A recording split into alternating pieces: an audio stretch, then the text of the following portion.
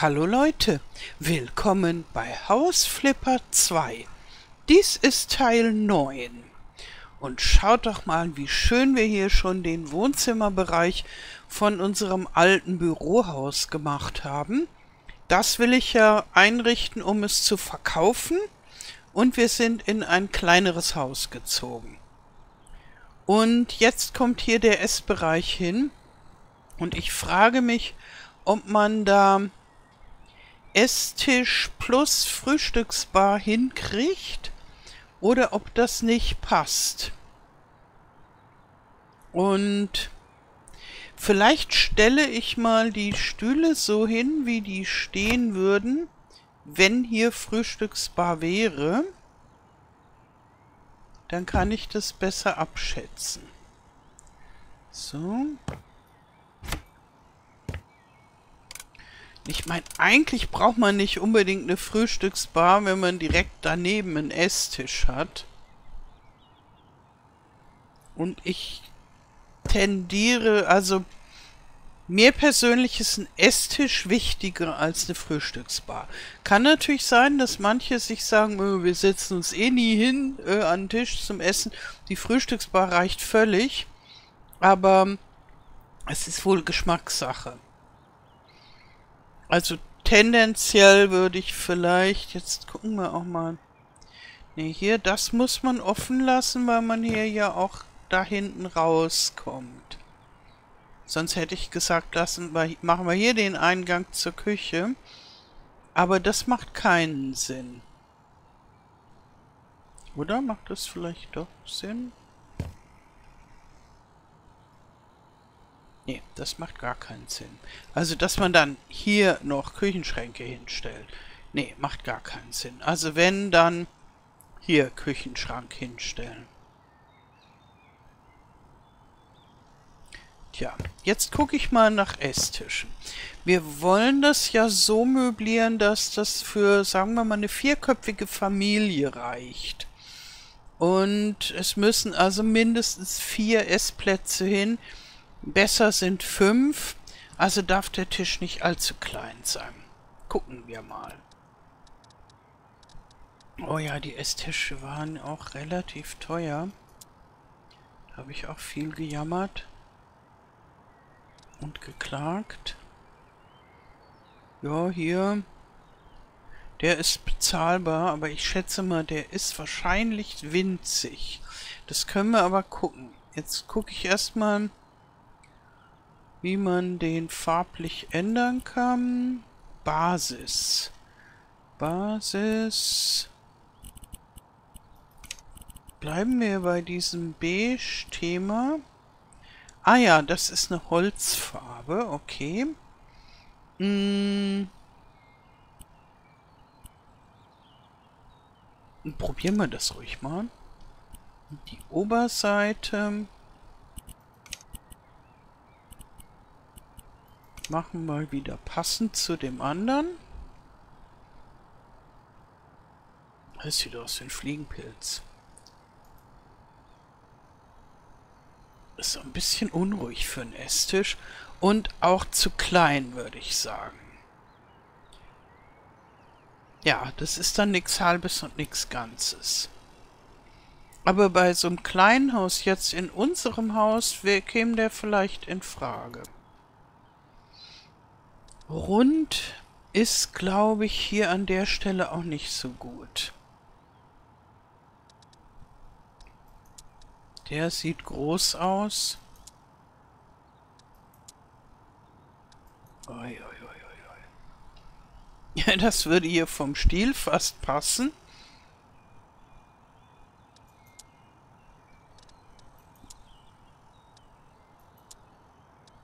Ja.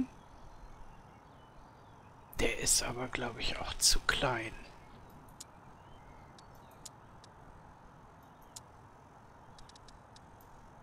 Der ist schön. Hm. Der hier ist mehr so ein Outdoor-Tisch. Ja, für die Terrasse. Aber bezahlbar. Der Tja, bleibt fast nichts anderes übrig als der hier. Ich guck mal, wie sich der in dieser Holzart macht. Der ist zu groß. Oder? Nun gut, er ist nicht zu groß, wenn wir diese ähm, Frühstücksbar-Geschichte einfach völlig weglassen. Dann geht das. Dann ist der schön großzügig für eine vier- bis fünfköpfige Familie. Und die Holzfarbe würde passen. Also würde passen zu dem Beige von dem Sofa und so. Ich glaube, die so eine große Fläche in diesem unruhigen Rotton wäre wäre too much. Aber er ist schon sehr wuchtig. Erst gucke ich jetzt noch mal, ob man da was... Das sind die vorgegebenen. Ist das hier dieser... Nee, das ist ein anderer Rotton. Dann gehe ich hier mal zu Stil ändern. Ah, da kann man auch Basis und Oberseite getrennt ändern.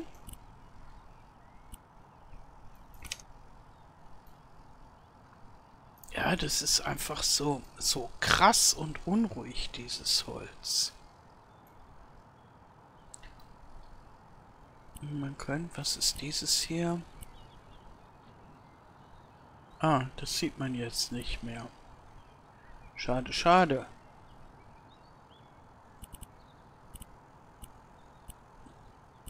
Weil man könnte vielleicht die Farbe nehmen. Poliertes als gebeiztes. Muss es Birkenholz sein? Ja, ich gucke hier auch mal gebeiztes Birkenholz. Und dann schaue ich, ob wir so einen Rotton hinkriegen. Dann wäre das wohl nicht so unruhig. Hm. Und die Beine dann in so einem hellen Beige? Ich guck mal.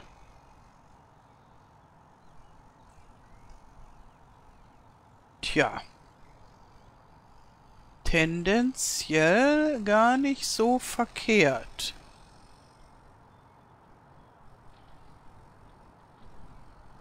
Und jetzt schaue ich noch mal, wie es damit aussieht. Und die Beine aber in dem ruhigeren Stil lassen. Es ist wenn man das hier so betrachtet, eigentlich ein sehr schönes, interessantes Holz. Ich würde sagen, wenn, dann so. Aber ich gucke nochmal nach anderen Tischen.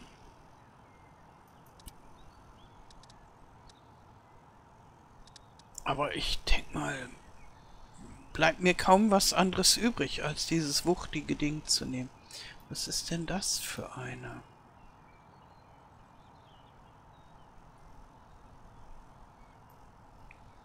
Viel teurer.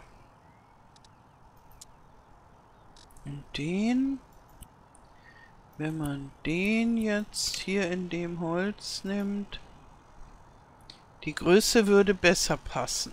Aber es ist einfach ein Outdoor-Tisch mit diesen Rillen da drin. Ich äh, funktioniere ja gerne mal Sachen um, aber das ist zu krass. Und der... Nee. Wir nehmen den. Und dann verkaufe ich diese Barhocker. Gut.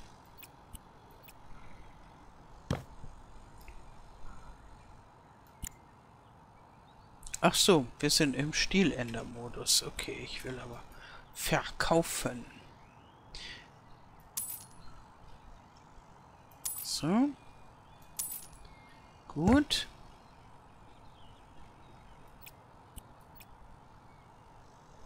Müssen wir mal sehen, ob wir vielleicht die Küche einfach auch offen lassen können. Nur hier so ums Eck. Weil dann würde man hier von der Küche aus schön direkt zu dem Esstisch kommen. Sonst, ich meine, alternativ kann man dann halt die Sachen hier auf da diese Schränke stellen und da muss man halt rumgehen. Ich denke, das können wir noch mal sehen. Jetzt brauchen wir Stühle. Ah, da haben wir doch solche. Nehmen wir doch die da. Und ich habe dieses Kopierfunktionsdingsbums. Duplizieren. Na prima.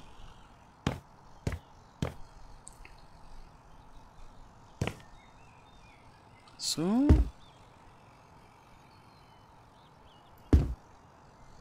Wunderbar.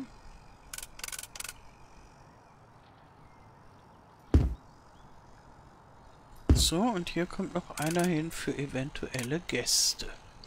Den schieben wir aber so weit rein, wie nur irgend möglich. Gut. Ja. Ich denke mal, das ist ein passabler ähm, Kompromiss. So. Hier in dieses Kämmerchen.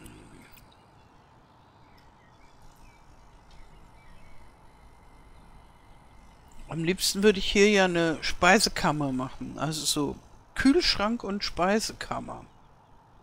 Weil dann würde man hier ja einiges an Platz sparen.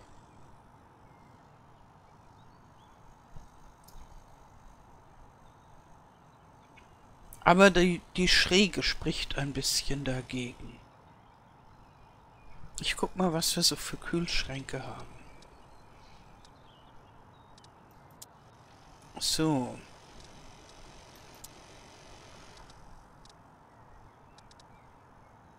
Kühlschrank Gafros.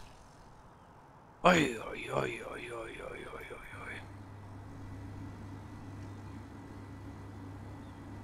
Den könnte man hier schon reinstellen. Wenn man die Waschmaschine in diese andere Abstellkammer stellen würde. Hm. Aber überzeugt bin ich von der Idee nicht. Das hier ist ein... Oh, ein kleiner Kühlschrank. Der würde hier aber gut reinpassen. Okay. Sie haben kleine Kühlschränke. Super. das hier ist ein ganz großer. Jawohl.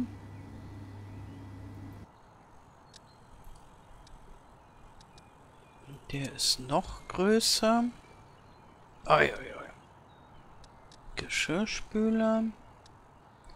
Kühlschrank, Kühlschrank.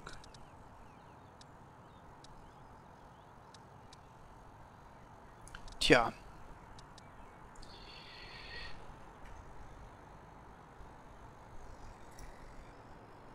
Grübel, Grübel.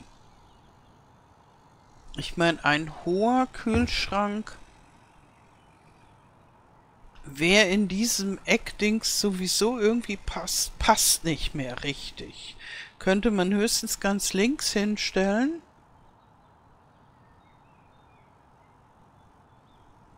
Aber dann ist diese ganze Küche schon sehr klein. Wenn ich die hier offen lasse, ist die ja sowieso sehr klein. Aber es hätte halt echte Vorteile, wenn man hier man bereitet hier was zu essen vor zu und dann zack auf den Tisch.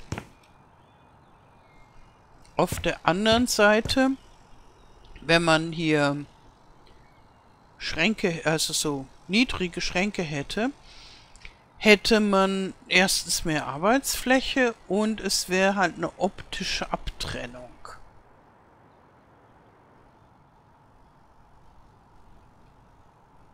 Naja, wenn ich bedenke, dass ich in dieser Küche selber nie ähm, essen würde, wo... So, ich ziehe das mal um.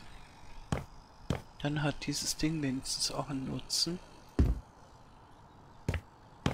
Also ich will das ja hier praktisch nur ausbauen zum Verkaufen. Da muss ich mir, glaube ich, nicht ganz so viele Gedanken machen dieses Geraffel. Das ziehen wir einfach auch mal mit. Das ist ein Toplader. Das gibt's anscheinend in Amerika noch ziemlich viel. Und in, in Deutschland ist das irgendwie was aus dem letzten Jahrtausend, so Toplader. Ganz am Anfang, als ich noch nicht mal so einen richtig eigenen Haushalt hatte, sondern so, ja, so improvisierte WG irgendwie, aber schon ein Baby da hatte ich so eine Toplader-Waschmaschine. Und die hatte nicht mal eine eingebaute Schleuder. Darum hatten wir auch noch eine extra Schleuder. Da musste man also die gewaschene Wäsche, die klatschnasse, in diese Schleuder packen. Das war so ein rundes Ding. Und die hat dann gewackelt wie bekloppt. Und so. Jetzt kaufen wir hier einen... Was ist denn das? Das nehmen wir als irgendwie Deko-Gegenstand. Ähm, und das hier wird in den Müll geschmissen. Ja, dann hat es also eine Weile geschleudert unter unglaublicher Wackelung. Und dann kommt man es rausholen. Und aufhängen. An Trockner war natürlich gar nicht zu denken. Und wir hatten Stoffwindeln. Das war lustig. Ja, mit Farbwahl, aber ich glaube, Farbwahl brauchen wir hier nicht. Den stellen wir hier rein und gut ist. Der passt sogar ganz nach hinten. Und ich denke mal, da brauchen wir erstmal gar nicht viel anderes dazustellen. Äh, das können die Käufer selber machen. So, jetzt brauchen wir hier aber keinen Kühlschrank unterbringen. Gut, dann schauen wir mal nach preiswerten Herden. Wobei, vielleicht erstmal ein Küchenschranksystem. Das ist funktionelle Schränke, Hängeschränke, Standschränke. Okay, gut. Backofen, naja, da packt man dann ein, ein Ceranfeld oder so drauf. Ah, und es gibt hier so ganz kleine Waschbecken. Für die Mini-Küche finde ich sehr cool.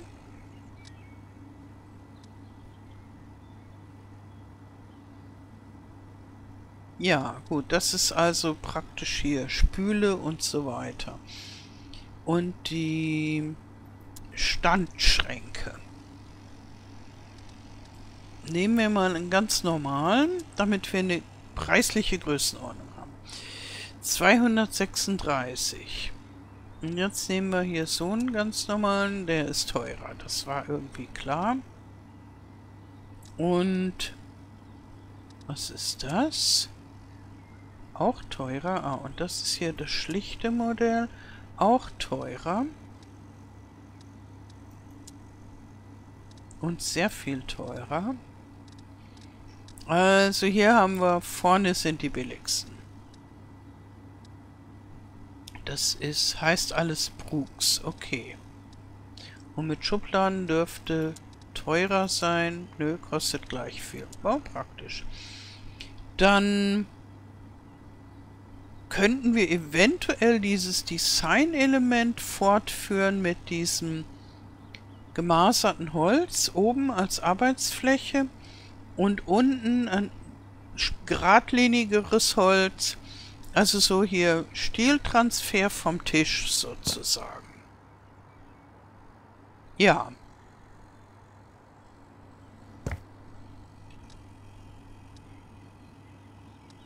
Soll ich einfach mal so einen Unterschrank kaufen?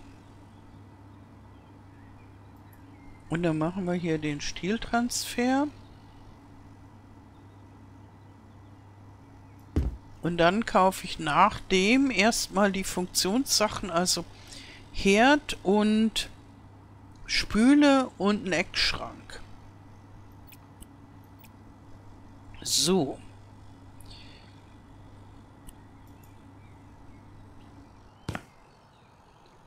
Hier und hier. Oh, das hat gut geklappt. Also, da kann man echt nicht meckern.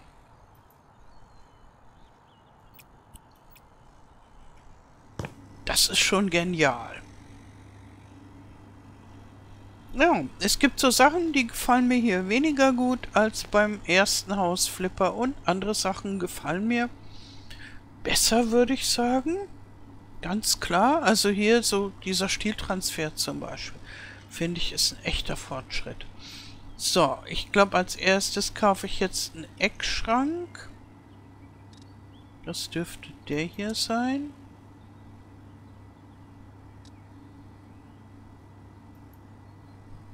Und ja, die Stilanpassung mache ich dann, wenn ich alles zusammen habe. Gut.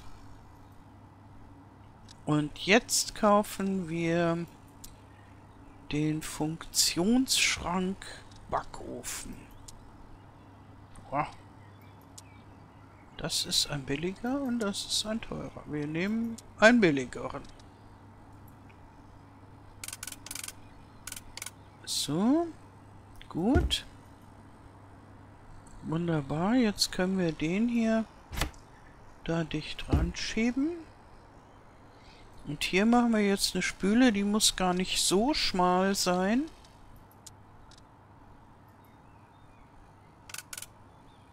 Ja. Ja, jetzt. So passt's. Okay. Vielleicht gibt es sogar so ein ganz, ganz schmales Schränkchen. Obwohl das eigentlich gar nicht nötig ist, da noch so ein super schmales Schränkchen hinzupacken. Mal gucken, ob es das gibt. Es gibt ein schmales Schränkchen. Ja, nehmen wir das mit Schubladen. Kostet das gleiche. Gut, das ist hier zu breit. Aber hier... Da ist es okay. Könnte man sogar noch breiter. Ich guck mal, ob es so ein Mittelding gibt. Hier. passt. Wie die Faust aufs Auge. Wunderbar. Ja, das tut's ja eigentlich. Und jetzt machen wir noch Oberschränke im gleichen Stil.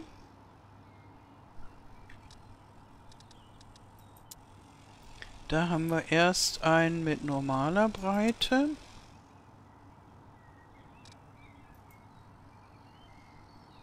So.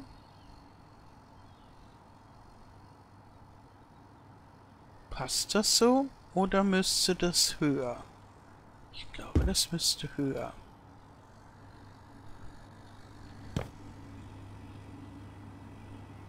Ja, so passt es.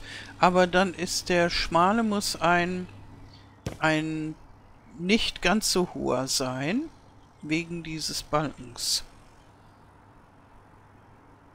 Mmh. Hm, ja, und da verlassen sie uns schon, denn den gibt es nur in voller Höhe, oder? Wie ist der denn? Mal gucken. Der ist wohl zu breit.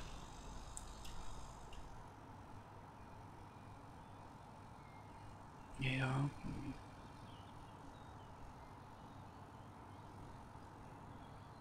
Vielleicht passt es gerade so drunter.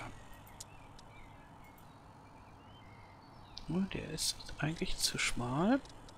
Da haben wir den hier. Oh, der hier. Schick. Der ist, glaube ich, zu breit, oder? Ja.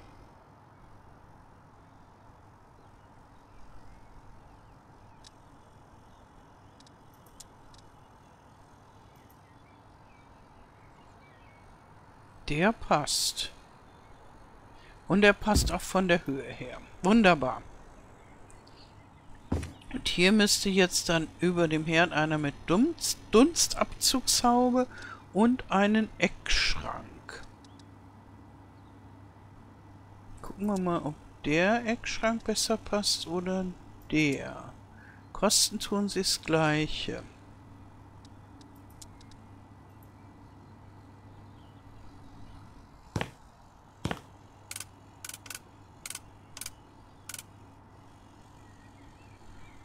Okay, der da passt so. So sieht eigentlich gut aus. Schließt auch gut mit dem Fenster ab. Und dann schauen wir mal, ob wir hier noch eine schöne Dunstabzugshaube finden. Das wäre dann, glaube ich, auch wieder Funktionsschrank. Äh, oder auch nicht. Muss ich mir auch merken, dass auch die Waschbecken hierbei sind. Hängeschränke. Na, da muss man vielleicht ein extra Gerät Dingsbums kaufen. Jetzt gucken wir nochmal hier. Okay, das wäre wohl der richtige. Hm. Leider ist dann der Eckschrank nicht ganz passend. Der gefällt mir zwar. Ich guck mal den anderen Eckschrank.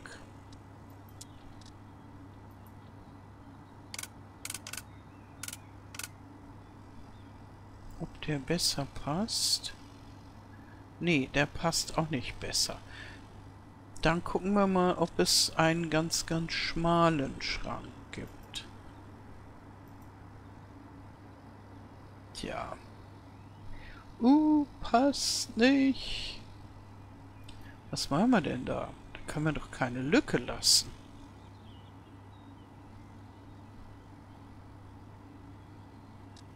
Das geht doch gar nicht. Hm. Der dürfte auch nicht besser passen.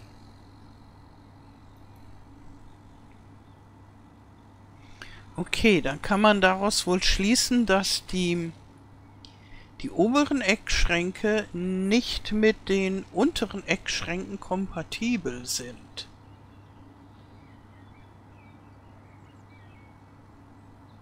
Tja, das hinterlässt mich jetzt aber doch sehr ratlos. Diese Lücke geht gar nicht.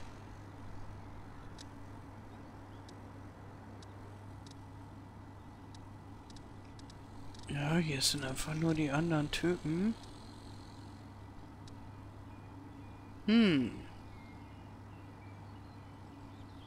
Jetzt gucke ich nochmal, ob dieser Eckschrank vielleicht besser passt.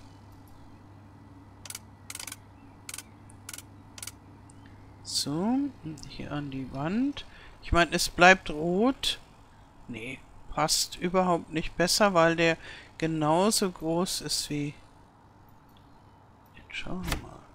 Nee, der Herd hat normale Breite und der Eckschrank, der geht halt bis hier.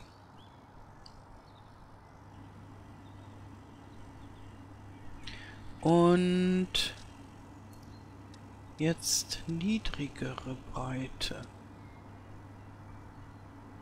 Gibt es wohl nur den? Was ist das für einer?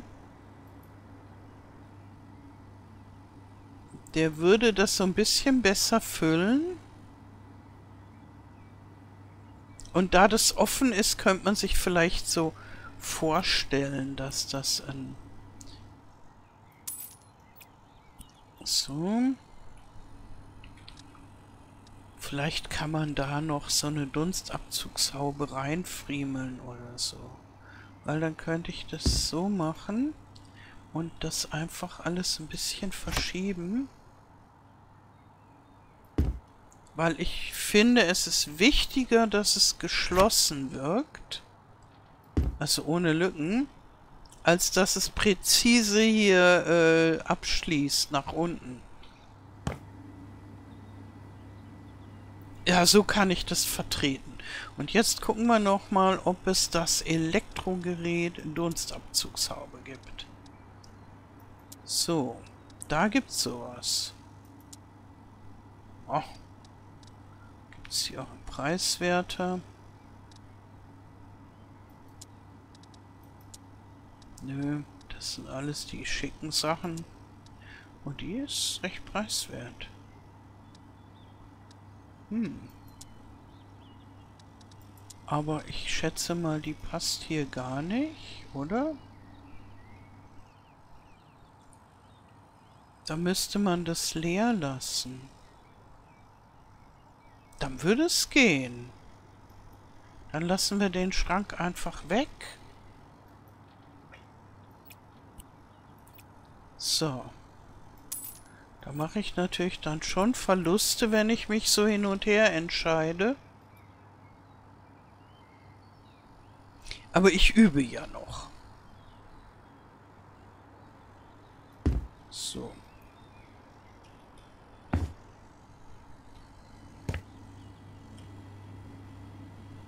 Naja. Es ist äh, nicht optimal. Aber ich denke mal, damit kann man halbwegs leben. Und jetzt machen wir wieder den Stiltransfer. So, mal gucken. Ja, man kann die hier alle.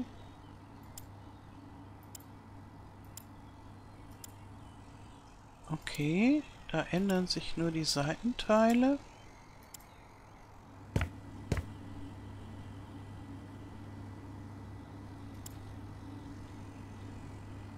Das passt schon. Na, Küche, äh, Stilkopierdings, geh weg. Jawohl.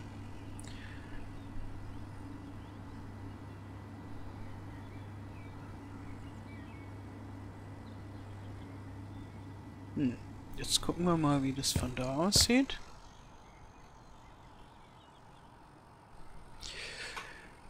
Ich denke mal, man kann darauf verzichten, ähm, so einen Quer Querunterschrank noch zu machen, um das noch mehr abzutrennen. Diese Säule hat schon was Abtrennendes und der Tisch hat ja auch was Abtrennendes. Der ist sozusagen das verbindende Glied zwischen Wohnbereich und Küche. Und ich denke mal, das kann man so lassen. Gut, dann schauen wir mal, ob wir hier noch ein bisschen Deko unterkriegen. Ähm, Dekoration. Zubehör. Jo, gut. Einzelnes Essen. Na, da kann man halt schön kombinieren. Kuchen. Der hätte dann keinen Teller. Okay, ja. Also muss man dann auch noch einen Teller. Einkäufe. Ah, das ist das. Das ist Badezimmer, das ist Küchenzubehör. Das ist eine Ta Tartform.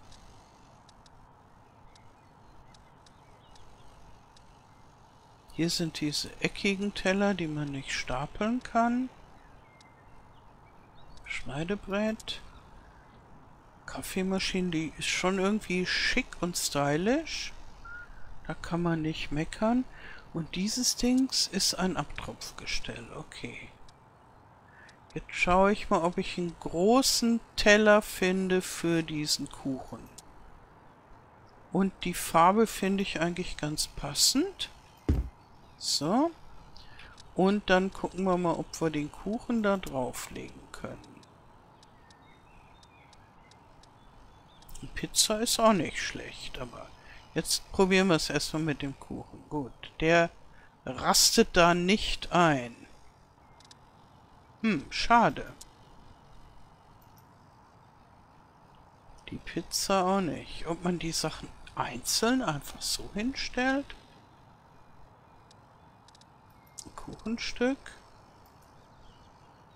Das würde da drauf passen. Okay, gut.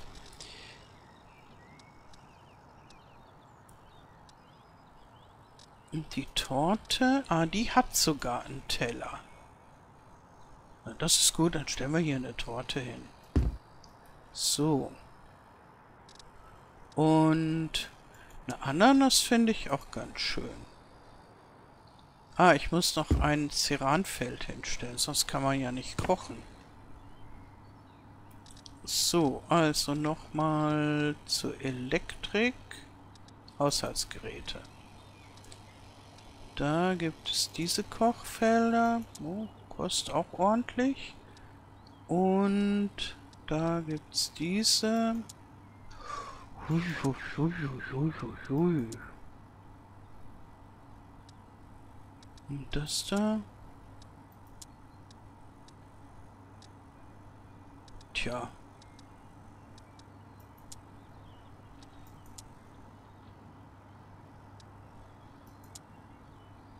Das nimmt sich nicht viel. Ich nehme mal so eins. Weil, gut, im Amiland sind Gasherde noch ziemlich verbreitet. Und auch in vielen deutschen Städten. Aber ich denke mal, so ein Induktionsfeld äh, ist einfach moderner. So. Jetzt. Was ist das? Mo Mobilitäten. Ah! Oh, für Alte. Cool. Büro. Sonstiges. Ein Mülleimer sollte man schon hinstellen. Den könnte man vielleicht hier hinstellen. Und in Rot macht er sich ganz gut. Dann findet man den wenigstens. So. Gibt es hier Obstschalen oder muss man die selbst zusammenstellen? Anscheinend muss man die selbst zusammenstellen.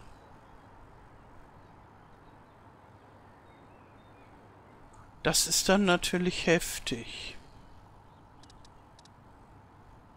Aber man könnte hier einfach ein bisschen Obst auf diesen Teller drauflegen. Ja, das geht. Wunderbar. Nee, Tomate ist kein Obst.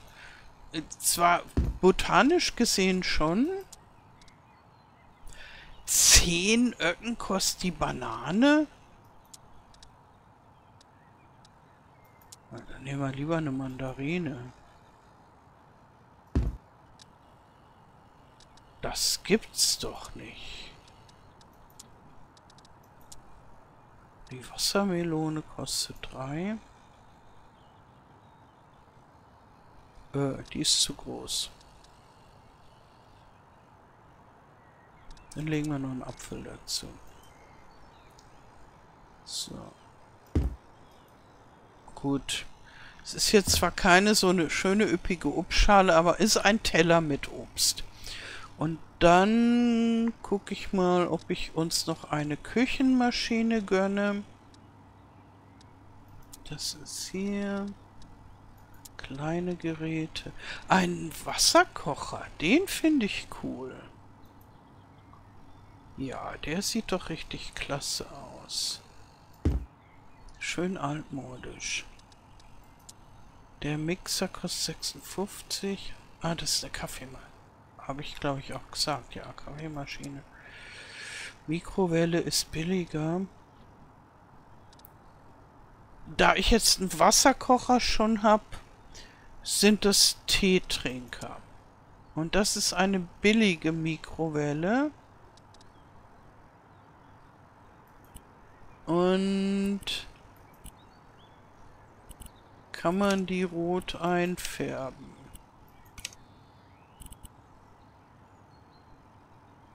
Weil das sieht ja irgendwie ganz cool aus, diese roten Sachen, finde ich.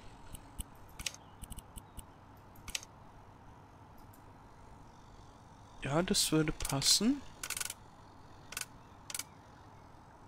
Die stellen wir hier hin. So. Und das muss an Küchendeko reichen. Hier haben wir noch dieses olle Handtuch. es ist eigentlich zu oll, oder?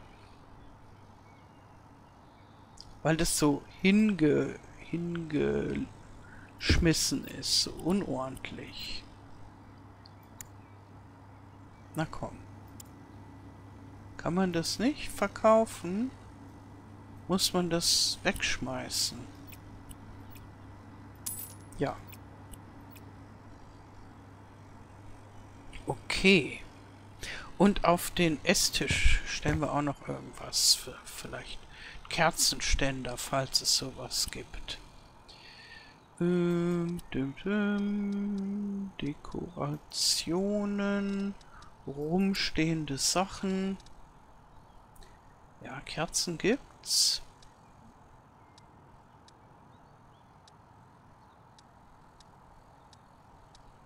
Sowas hier vielleicht.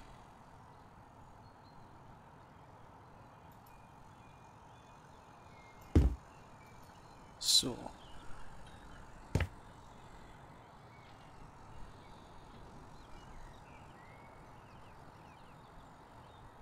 Naja, ich denke mal, das geht schon halbwegs so. Ich guck mal, ob ich die Türe hier anpassen kann. Vom Stil her. Dieses Stilkopierdings finde ich schon ziemlich cool. Nehmen wir mal von hier. Und gehen wir hier. Ja, ja, passt. Gut. Was machen wir hier? Einfach mal zacki zacki. Überall.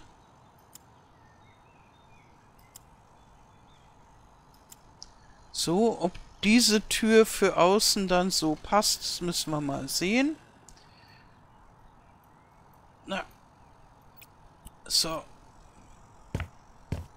Aber fürs Erste finde ich das ganz gut. Vielleicht sollte ich auch fast dieses Grün von dieser Säule ändern. Dann nehmen wir hier wieder davon, weil das sind ja mehrere Werte. Okay, das geht anscheinend nicht. Hm.